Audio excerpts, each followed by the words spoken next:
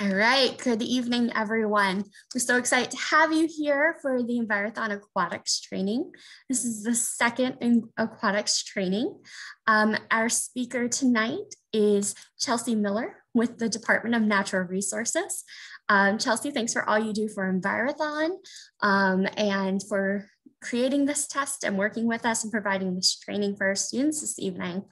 So I'm gonna remind everyone to put questions in the chat and turn it over to you now.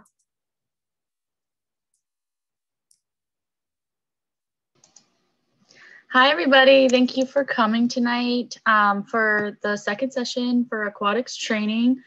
Uh, as April said, I'm Chelsea Miller. I am the aquatic, an aquatic resource educator with Maryland Department of Natural Resources. I am specifically in the Chesapeake and Coastal Services Unit, um, and I have created the test for you guys this year that will be virtual. Um, so let's see. Um, one thing I want to warn um, last time my dog was a little bit noisy, um, but this time I hope that won't be the case. If you miss anything, just say it in the chat and I can go back over it. Um, and April, you can go ahead and share the PowerPoint if you don't mind. Yep. I'm sorry. Give me give me one second. Switch. Okay.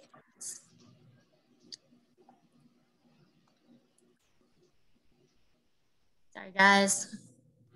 Friday evening. I'm sure you feels. Well, and while she's doing that, I can, um, we saw that there were some pre-registered questions. Um, I will touch on those at the end of the PowerPoint, and then there will be plenty of time for more questions. Um, and you guys can feel free as I'm talking if you want to throw a question in the, in the chat. Um, I have it up, so I, I'll be able to see um, better this time.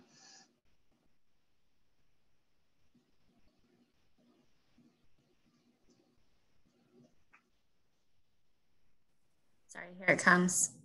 My computer signed me out of all my programs right before training started. that happens to me a lot. Here we go. Thank you.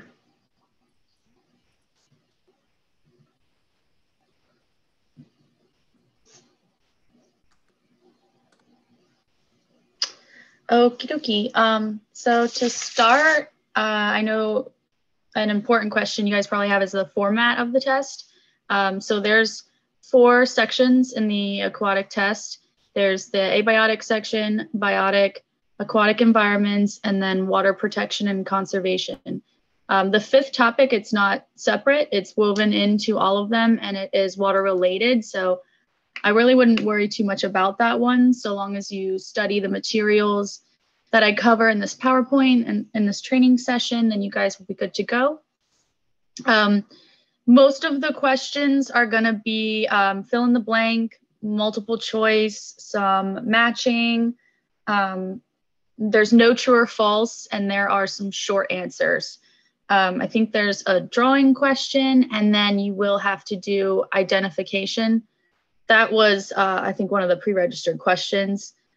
Uh, you will be doing fish identification. There will be two, um, and then also macroinvertebrate identification. Um, and just because I just saw the questions now, I'm just going to touch on them. Um, they the common names is as far you guys don't need to know the scientific names as long as you can put the common name um, then then that's fine let's see. Um, oh, and the sections are not in order um, and the questions aren't in any particular order.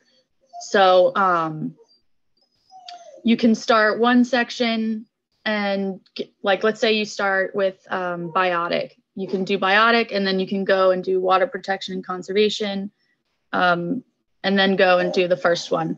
But once you enter a section, you do have to complete that section. Um, and then each one has an allotted amount of time. I think in total, how, how much time, April, do they have total for the test? A total of two hours to complete the entire test. Okay, yeah. So you guys have a total of two hours, um, and ours are in uh, like there's one section that's 20 minutes, a few sections that are 40 minutes, and that's just because of the nature of the different questions.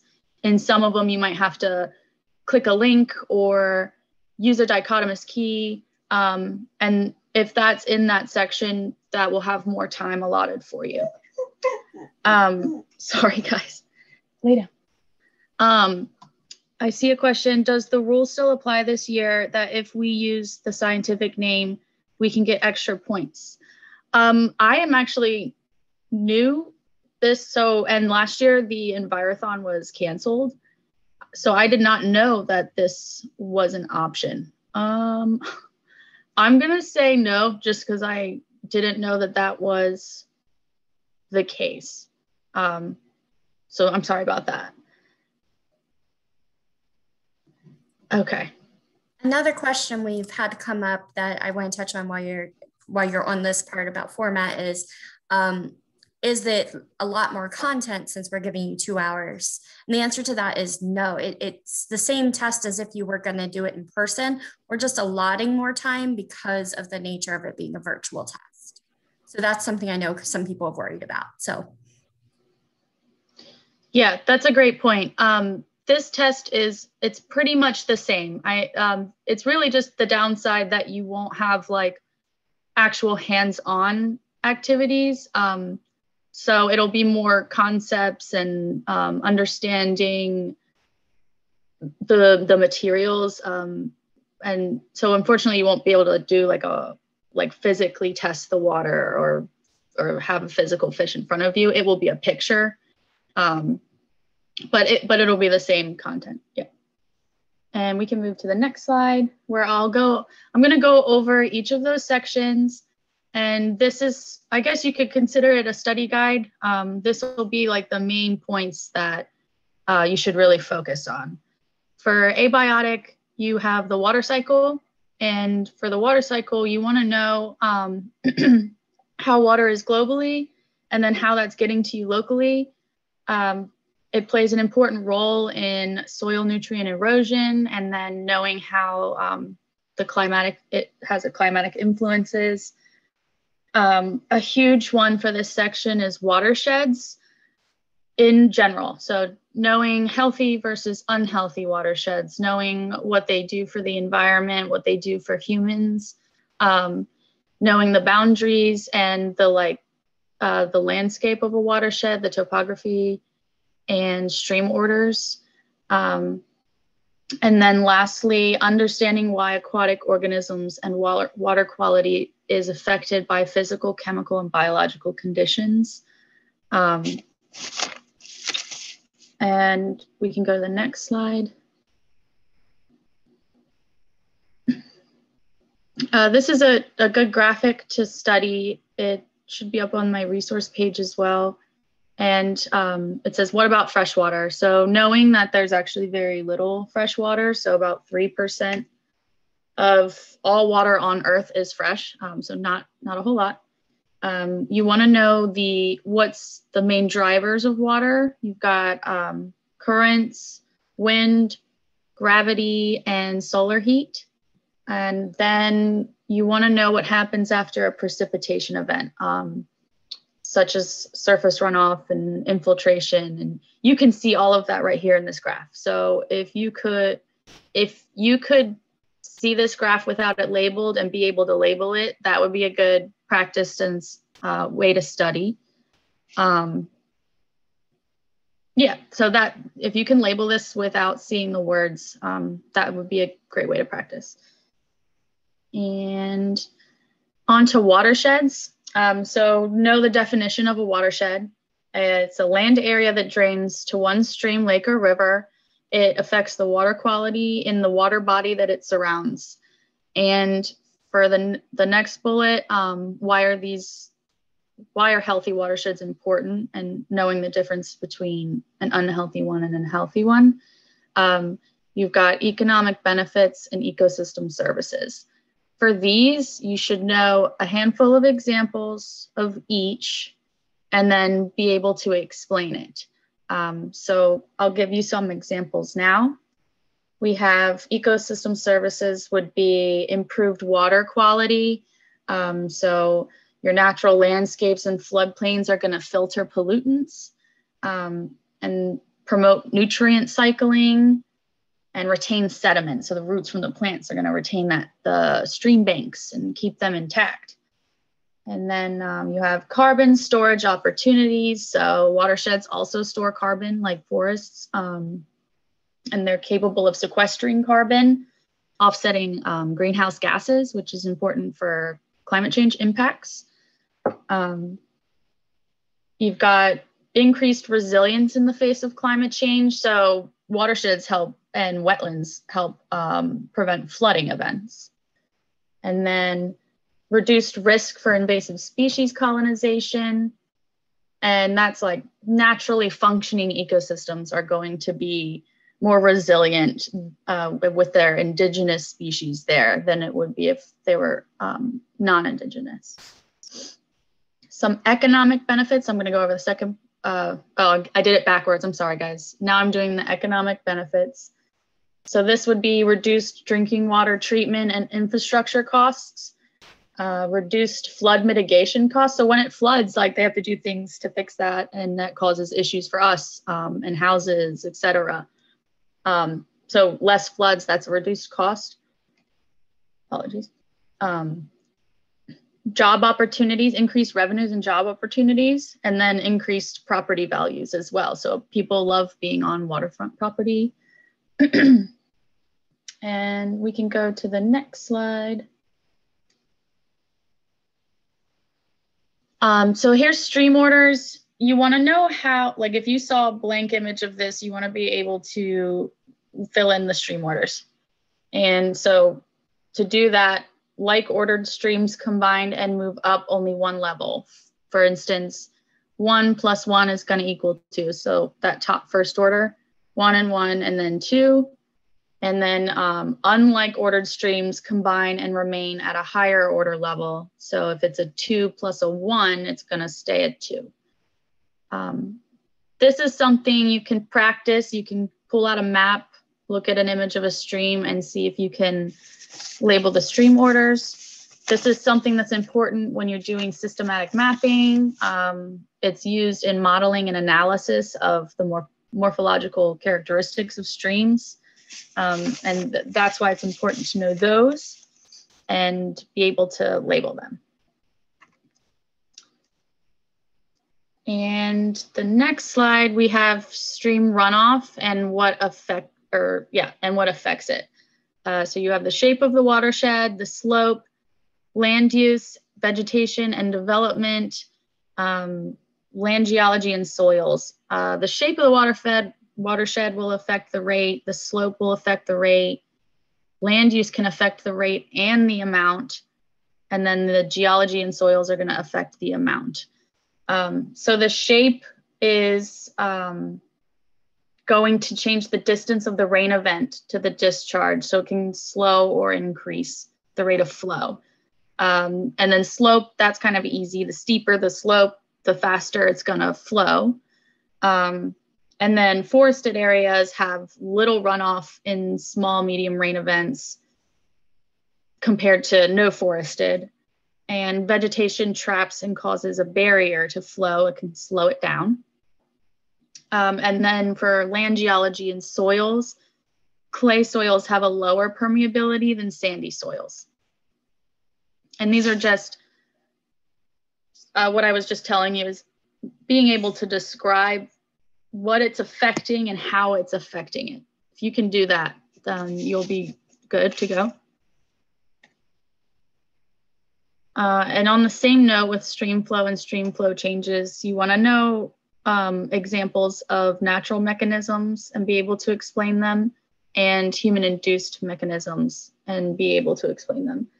So natural examples would be runoff from rainfall, runoff from snowmelt, um, evaporation from soil and surface water, transpiration by vegetation, groundwater discharge, and sedimentation of lakes and wetlands, um, formation of glaciers and permafrost.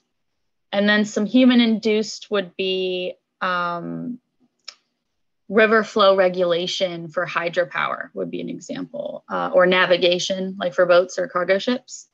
Um, construction and removal, when they do big construction sites, they'll have to like build a retention pond to help trap some of that excess sediment that's going to very easily run off. Um, they do stream channelization and levee construction. These would be more human induced ones. Some wetlands, like they drain some wetlands. Drainage of wetlands would be human induced. Um, and urbanization will also um, affect the stream flow. The images I have on this slide um, are showing you examples of riparian zones and floodplains. And this was just so um, giving you another way to look at it. It's a visual as opposed to wording. Um, so the riparian zone are the trees along the side acting as like a buffer to trap pollutants and such as from farms like it's going to help prevent um, excess um, nitrates and phosphorus from getting into the water and then you have your entire floodplain and that's got the whole valley width okay and i'm sure you guys are familiar with pH and the pH scale. So knowing what's neutral, seven's neutral. Um, as you go up in scale towards 14, that's basic. Going down, that's acidic. What you guys need to know is what pH is a livable pH for living organisms in the water. So what pH does the water need to be for organisms to survive? It's, it's usually a range, um, and it's usually, I think, around eight um, and then knowing how climate change is impacting the pH of the water, uh, making it more acidic. So ocean acidification is a big issue, uh, along with the temperature changes. Uh, so having a good understanding of the scale and what pH is required for living organ living aquatic organisms. And on top of pH, some more um, chemicals and biological features, temperature, salinity, and oxygen, and the relationship. Knowing that cold water is going to hold more oxygen than warm water, and fresh water is going to hold more oxygen than saline water. So, cold, fresh, super high in oxygen, warm saline is going to be really low. It's also the the deeper you go, you're going to have less oxygen as well because you're um, getting farther from the surface and um what was i going to say? Oh sorry. And then knowing that that uh, temperature trumps salinity. Sorry i keep stumbling over my words. Um, yeah temperature trumps, trumps salinity so warmer water cannot dissolve oxygen as easily as colder water. Um, and then, you can move forward. This is an image of the global conveyor belt. And I like this one because it um, helps to show you the global circulation of the temperature and the saltiness of the water. So cold, salty, dense water sinks toward the bottom. and then warmer, fresher, less dense water is rising to the surface. And then this is showing you like globally where you're gonna see those moving around. So study that and that will help you as well. Um, so for all of those, go through those slides. If you understand those for abiotic, that's a good focal point, but definitely go through the resources um, and make sure you understand all those concepts. And then the other another section is biotic. This is going to focus on food webs, uh, how energy and matter flow within an ecosystem. You need to be able to identify common, rare, threatened, and endangered aquatic species, as well as aquatic nuisance species.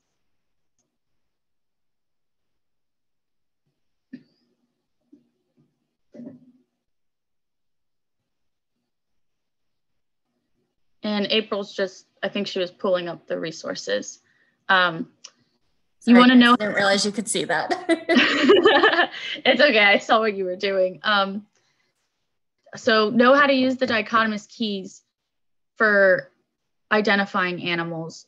There are on the reference list, the resources list, where there's an asterisk is where you're going to have that available to you at the test. So you'll have the dichotomous keys when you're doing this. So for a good way to save time is if you familiarize yourself with the key and practice a few times with different species so that when you do see that image of the fish you can fairly easily step by step go through the dichotomous key and get to the answer. For the fish species it's just the one from dnr that i have available to you. For the macroinvertebrates you have two and i can touch on that a little bit later. Um, and the reason I did two was because one of them has really um, in microscope like microscope imagery on it and um, some better graphics. And whether you're more of a visual person or you like reading the, the description, you have two different um, dichotomous keys to go off of, like whichever one you prefer to use. Um, and then being familiar with aquatic plants and animals visually and descriptively. So if you see, like if the, if I describe a plant to you, you should be able to, for the, for the very common ones, you should be able to identify them. And we go to the next slide.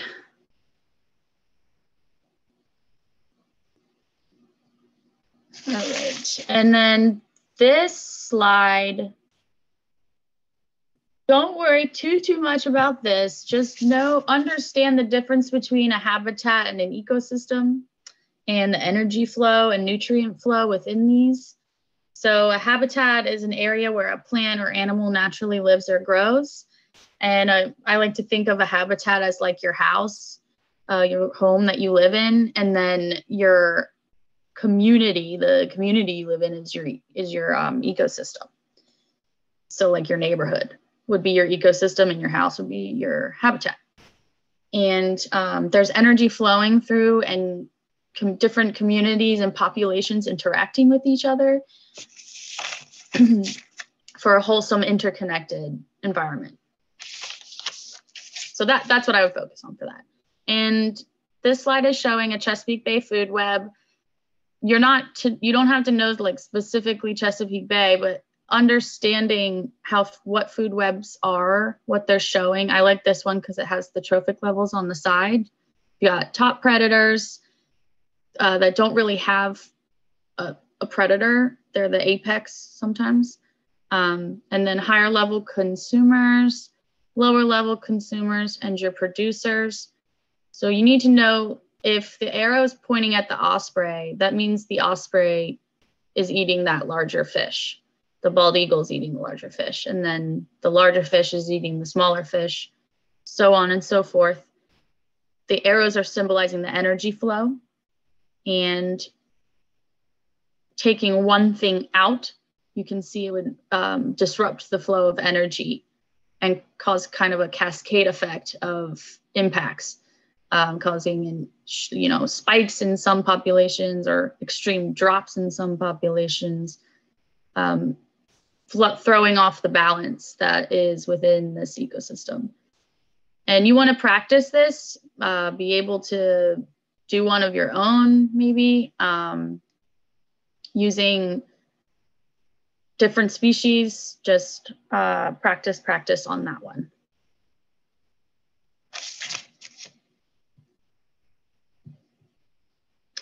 And here I put biotic slash aquatic because this topic comes up in both. They're overlapping.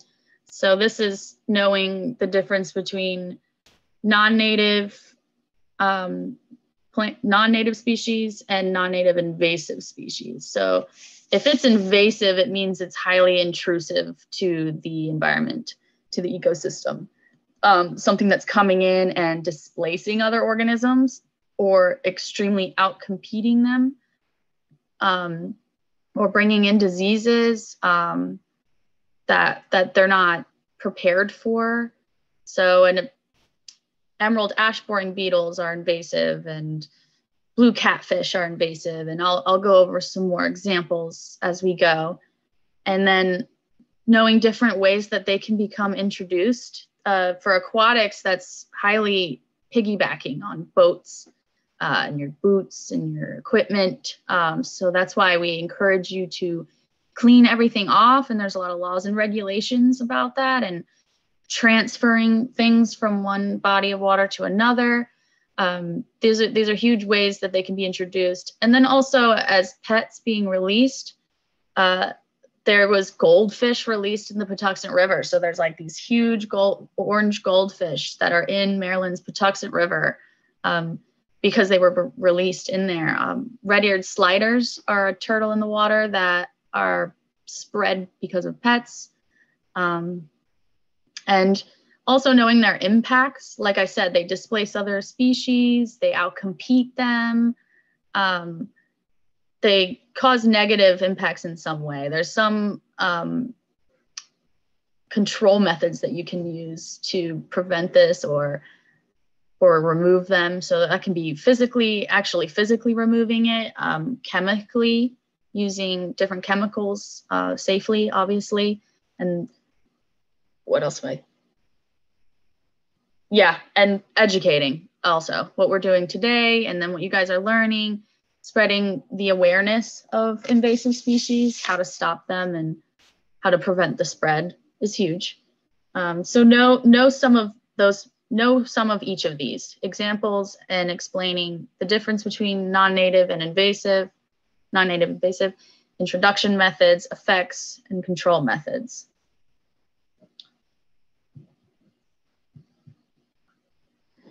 And here, since I, you know, obviously can't tell you which fish picture will be up there, these are some common ones that I recommend you study and look at be able to identify them. Maybe you guys could take one of these and use the dichotomous key, see if you can figure it out. Up in the top left, I've got a bluegill sunfish. In the middle, there's a white perch, and then at the bottom is that invasive blue catfish. So these are a, just a list of some common ones for you to have something to study off of and practice with. Um, and definitely know those invasive ones, the blue catfish and the northern snakehead. yeah. Oh, and apologies. The importance of knowing how to identify a fish is a large part of when you're going fishing. You have size limits and um, like different regulations for each species. So like rockfish has a different catch limit than a bluegill sunfish and different size limits than the other one. So being able to identify them is crucial if you're, especially if you're an angler. Here's some common aquatic invasive species. This is a list of common ones. If you know these, you won't have any problems. Um, Northern snakehead is that one in the top left. And um, the zebra mussel is the top right, and Phragmites is there at the bottom. Um, Phragmites is all over the place in Maryland. Um, that's a good one to study and know.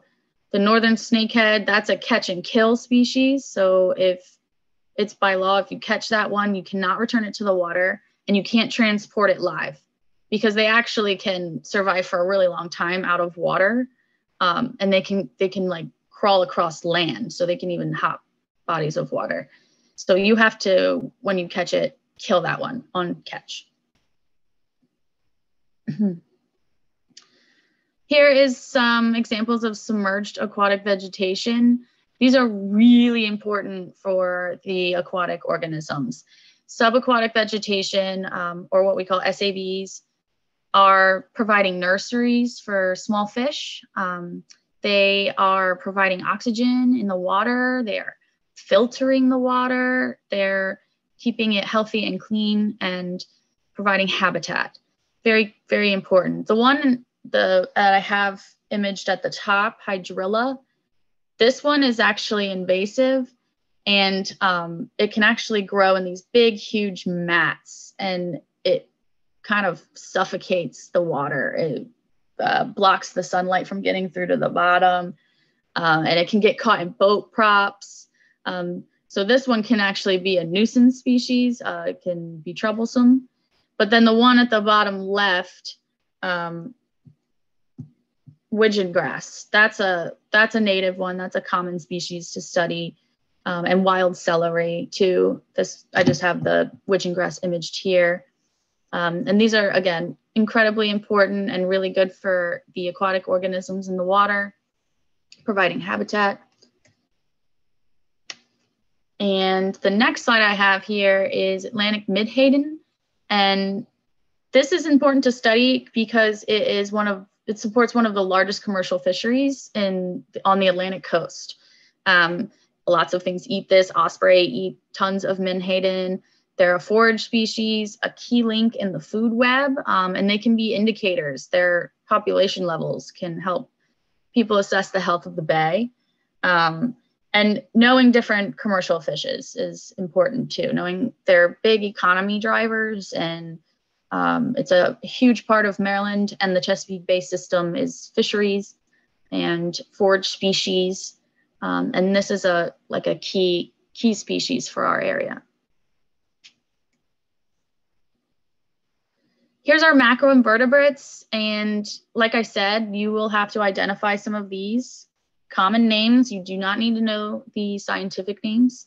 Um, and focus on those sensitive orders because these are the ones that are showing us if they're if you find the sensitive orders in your stream, it's an indicator that you have a very healthy stream. You also want a diversity of macroinvertebrates in your stream. Um, if you fought and find if you find the um, more tolerant ones and none of the sensitive ones, that's going to help you determine if your stream is unhealthy. Uh, and there's two different keys, the Stroud Centers key and the DNR key, that you have both of them available to you. Uh, so just choose which one is your favorite, practice with that one, and you'll have it at the test. Um, and it will be just a picture. It'll be a picture, and then you link to the key I think it pops up in another window and uh, it's still within the system. It's just in another window. So you can kind of click back and forth. But that's why we gave you guys more time on these sections because of the clicking back and forth and going through the key. So you will have plenty of time. I wouldn't stress about that. Um, just uh, stay focused and go through the key and you, you'll get to the right answer. Um, you're gonna look at the number and length of tails, the location of their gills, the wing buds, the thickness and shape of the body. Um, and then at the bottom, I just have a list of some common ones. Stoneflies, mayflies, caddisflies, water pennies. Um, these are some sensitive ones. Um, and gilled snails. The moderately sensitive ones would be your net spinning caddisflies, alder flies, crane flies, damselflies, and dragonflies um, and scuds and crayfish too. And then tolerant ones would be black flies and um, midges, leeches, and worms. Um, so knowing knowing the common ones and being able to use a dichotomous key to identify them. You can identify it on spot. That's amazing. and here I just have pictured a few examples with the aligning image. So mayfly on the left, that's Ephemeroptera, stonefly, Plecoptera, and um, let's go right. And then caddisfly, Trichoptera, the sensitive ones.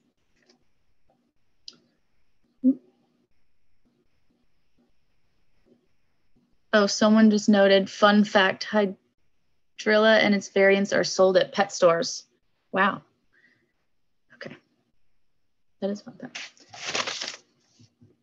And here is a image you can study of the anatomy key, um, the different parts. So as you're prepping and trying to use the dichotomous key, if you need this as you're going along, you can practice with this, showing you where everything is, the thorax, the head, abdomen, where the gills will be, um, and the eyes and antennas, your legs, and the tails.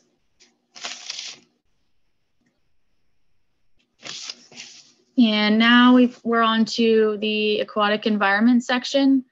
So we are here, we need to be able to identify aquatic and wetland environments based on their physical, chemical, and biological characteristics. Know characteristics of different types of aquifers and understand historical trends and threats to groundwater quantity and quality. So what, what is going to be polluting our groundwater and impacting our groundwater? And then um, I'll cover in another slide some an example of an aquifer that you should study. Definitely know Maryland's physiological provinces and be able to describe, here's some more overlap, native, non-native, and invasive species. And the pictures at the bottom down below, um, you've got like a beachy coastline where it looks like they did some grass planting. And then in the middle, you have a basic stream going through Maryland. And bottom right is a aerial shot of a marsh. This is Jug Bay on the Patuxent River. Um, and that light colored grass in there is a bunch of wild rice, and the darker colored grass is the invasive Phragmites. Here we are showing you to the left anadromous fish and to the right catadromous. And in the examples here, your anadromous fish are fish that are migrating from sea, sorry, are migrating upriver from the sea to spawn. Salmon do this, yellow perch do this, um, and the map here is a quality of habitat. Sorry, it's so small, but it, you don't need to study it. It, it was just for uh, um, for you, you to look at because they're going up from the bay and into these rivers to spawn.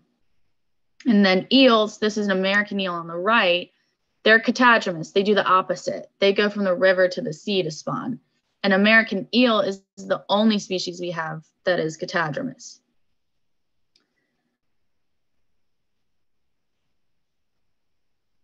Here's the example of the aquifer I want you to study. This is a coastal aquifer, and it, this is showing saltwater intrusion. So the image on the on the left side here, the graphic is showing you where um, what the natural condition is supposed to look like. And then the bottom is where you're having saltwater intrusion because of over pumping of that fresh water. They're pumping from that well. And it's drawing that water table down, allowing for the salt water to intrude. Um, so I'm going to go over how groundwater is one of our most valuable resources. And it's something you probably never really see or really think about. And it's from, um, sorry, as you may have read, most of the void spaces in the rocks below the water table are filled with water. And then the rocks have different porosity and permeability characteristics, which means that the water does not move around the same way in all the rocks below it. And then re over pumping it too much, not um, too quickly for the recharge rate. So like it's recharging through precipitation and seepage. And if you're pumping it too quickly um, for the recharge rate, this this could happen. This saltwater intrusion could happen. Um, and there are resource that there are two resources on the list where there's like a paragraph under a graphic similar to this one. You don't need to know in extreme detail, but understand how it happens um, and the impacts. Yeah. And you should be good on that. So I already said, definitely know the, physio the physiographic provinces of Maryland, the Appalachian Plateau, Ridge and Valley, Blue Ridge, Piedmont, and Coastal Plain. There's a graphic right here on the slide for you to study with. Um, so the Appalachian province, that covers 6% of the state, and it's the only one that drains to both the Chesapeake Bay and the Gulf of Mexico. Your Ridge and Valley province occupies about 12% of the state. The Blue Ridge covers about 5% of the state. The Piedmont covers about 29% of the state. And the coastal plain is the largest one, covering about 48% of the state. That's the biggest one is the coastal. Um, and then the Appalachian one is the one that can that's draining to the Bay and the Gulf of Mexico. And this is our last section here, water protection and conservation. So here you need to be able to interpret major um, federal laws and methods used to protect water quality, surface and groundwater, and be familiar with the federal, state, and county agencies that provide oversight of these laws and these regulations. Um, and then understand the impacts of climate change and some of the mitigation strategies. Those are the main three things to look at for this section. So we, we need to know that the Maryland Department of the Environment is who oversees the local water management plans. And here's just a list of some issues they're gonna face with climate change. We have higher temperatures in the waters, which is impacting the um, native species in the water, increased flooding, as we talked about, shifting precipitation patterns, increased runoff, more dry periods and droughts. And then you have rising sea levels, and we even have eroding shorelines, um, more frequent and more intense storms, and then changes in the water demand and water quality. So definitely have a handful of these in your head, understanding their impacts. Here's a little more specific of a slide of agri agrochemical handling facilities, um, understanding what those are, reading about them, and um, what good they do for the farmers and for the ecosystem. They provide a stable, safe surface for equipment storage. They reduce the risk of spills or leaks during um, loading, unloading, and mixing and they protect the environment by confining these spills, which is making it faster and effective, more effective, and keeping the area clean. It's also reducing the risk of spills into waterways by keeping it contained and reducing the risk to humans um, keeping it contained. So this is like a facility that they would have um, maybe an enclosed area with um, paved bottom so it's not seeping into anything. Um, and since it's enclosed, it's not going to run off. The roof is going to keep the rain from coming in. And all of the chemicals that the farmer is using will be in this facility. And when they're mixing the chemicals, they're going to be doing it in this facility. And this is to help prevent anything from getting into the soil, anything from um, getting into any local waterways. And this is an important one to study. But there are other examples, and that's on the next slide. Here's some other ones. These are huge to reduce erosion, such as cover crops, critical area planting, pasture planting, um, riparian buffers, like I said, uh, with the river sides and the stream sides, those riparian buffers lined with forests or trees and plants are going to help absorb excess nutrients from getting into the water and then grassed waterways, again, vegetation along the water, diversion, and livestock fencing, uh, just to keep them from doing their business right in the water, you know, just have a fence up and keep them away. And then here's some of the um, water protection conservation laws to study, TMDLs. So the total maximum daily loads, this was established um, by the EPA in 2010. And there are six states in this dis- in the district New York, Pennsylvania, Maryland, Delaware, Virginia, West Virginia, and the District of Columbia. And the um, nutrients that they're measuring are nitrates, phosphorus, and the sediment.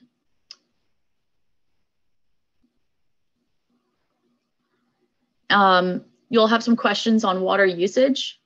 So an average Maryland citizen uses 100 gallons of water per day. The US uses 355,000 um, million gallons per day. That's a, a taken from 2010, by the way. Four states use one fourth of all US withdrawals, and those four states are California, Texas, Idaho, and Florida. And the two highest categories for water use um, are thermoelectric power and irrigation. But below, I have there's eight different categories there of water use public supply, self supported domestic wells, irrigation, livestock, aquaculture, um, manufacturing, mining, and thermoelectric power. And the thermoelectric power and irrigation are two of the largest. Here's some different ways in the home and outside that you can do to help um, at home. Inside, you will only run the dishwasher when full. One that was new for me plug the drain while hand washing. And everyone knows about shorter showers. Um, don't, don't leave the water running when you're brushing your teeth. Um, checking regularly for leaks is a big deal. Replacing equipment, shower heads, pipes, that kind of stuff. Um, that's like a, a major cause of um, waste, water waste. And then outside, a lot of schools do rain barrels and pollinator gardens and rain gardens, but you can do this at home too. And water your plants at the coolest time of the day to prevent evaporation. And then increase the mowing height to two to three inches. This can prevent weeds from coming in. Um,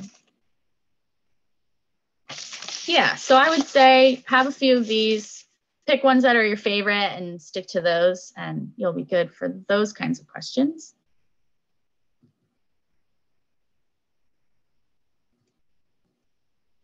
Oh, is that my last slide? I think so. Yeah, that was my last slide. Okay. Um, we have about 10 minutes left. If you guys want to ask any questions, anything about, even if it's just format of the test or tips or things, and you can ask it in the chat. I'll read it aloud and answer. It's a lot to cover and it's pretty broad concepts. So, and April just put the link to the resource page. So you uh, have access to that.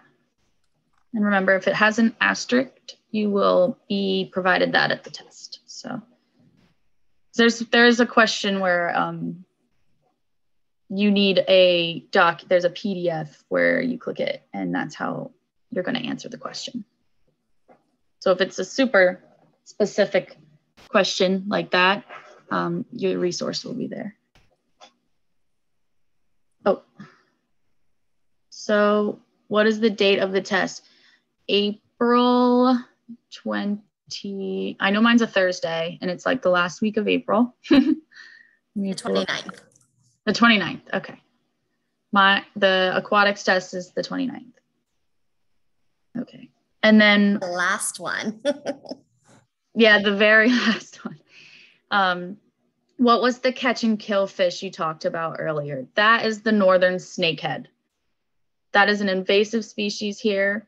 Uh, and that's catch and kill. If you look up fishing regulations and you look up the species and what you what the law is, that's a catch and kill species right there.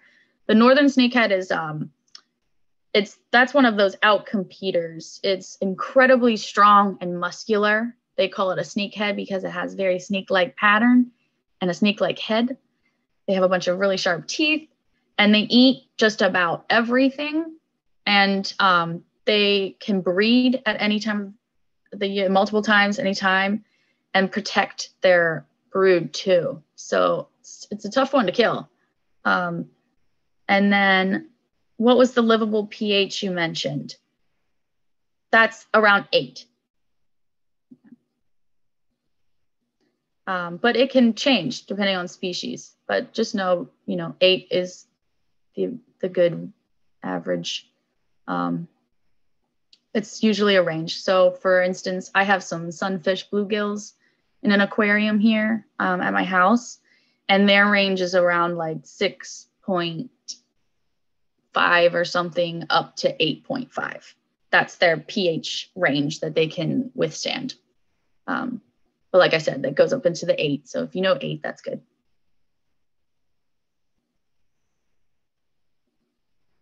Mm-hmm. And there's like five minutes left if anybody wants to throw any last questions. Now's the time.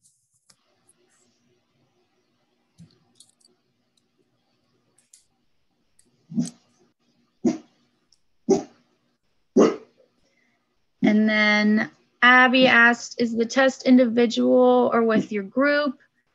Um, it's with your group. Yeah. Yeah. So April, maybe you can give them a little more in depth on that. Sure, yeah. Um, it's with your group. Um, everyone will have access to the test um, through the virtual platform. Um, and then you'll work together um, whether you have, it, it, really depends on what your school system is allowing and when you decide to work on the test. Um, the tests each day um, is a different subject for the first, for that Monday through Thursday. Um, and the test will become available at 9 a.m. and they will close at 9 p.m. Um, so you'll have those 12 hours.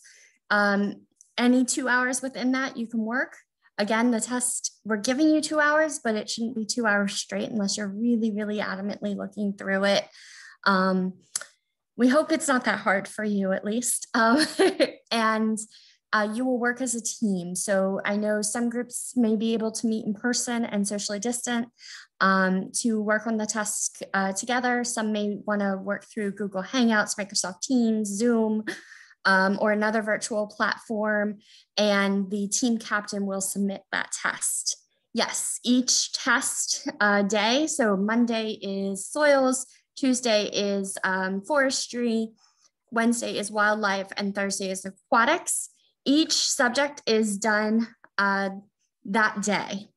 So you have between nine and nine to do that subject that day. Um, you can choose to do it during the school day if your time allows, or you have um, after school hours up until submitting at 9 p.m. So if you're doing the very last, we recommend you don't start after 7 p.m. so that you have those whole two hours. Um, but you know, it, it depends on what your team has available. And we'll be sending some more information about the actual like testing day and what it might look like as we get closer. And before we go, there was the question um, where did it go? Will we have to ID aquatic plants? You won't have to ID them, but one of the bullets was uh, being able to know, identify them descriptively. Um, so I would say, I'm trying to answer it without giving the answer.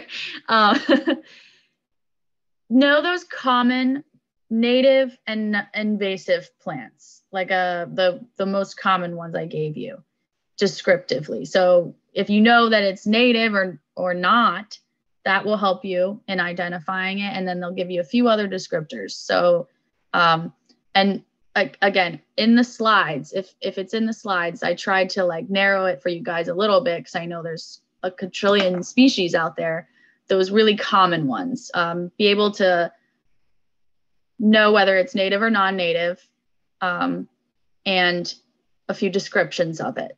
So if I, you know, for instance, Phragmites, if I said a really tall vegetative plant, you know, um, in the marsh, it's invasive, something like that. So if you can descriptively be able to know what the plant is like. Um, and uh, one more minute, any questions, or a couple more seconds, any questions? Not, I will give you back two minutes of your Friday. uh, thank you guys for coming today and um, participating in this training session. I think this one will go up on YouTube as well. And um, if there's, I guess if there's follow-up questions, you can always shoot me an email, chelsea.miller at maryland.gov. Um, and thank you. Yeah. Yeah, thank you everyone. Um, you'll be receiving some more emails as we get closer to the testing date. Um, I'll be sending it to coaches and all participants. Um, if you have not already, um, please, please, please create that associate account uh, through the University of Maryland ELM system. That is the online testing platform we will be using. Um, your coach should have the information if you did not get it personally from me. Um, we need that done as soon as possible so we can start getting you into the testing platform. Um, but other than that, thank you guys so much for coming out tonight and to any of our trainings over the past two weeks. And thanks to all of our resource people um, who have spent hours putting this together for you. Have a wonderful weekend. Happy Friday, and we'll see you in a couple weeks.